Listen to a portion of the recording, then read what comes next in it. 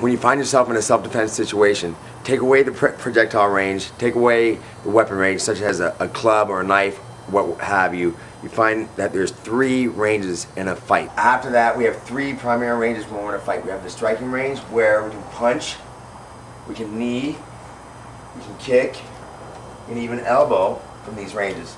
The second range is the clinch, where sometimes it looks like we're hugging each other and things of that nature, depending upon the tie-ups that we're doing. And we'll go over that a little bit later. In the third range, you're going to find yourself in the ground. In our Muay Thai system, or in our striking system, we'll go over the first two ranges. We go over the striking range, and we go over the clinch range. The striking range where you can punch each other, you can elbow each other, you can knee, and you can kick. And then you have the clinch range. We have what we call different types of tie-ups.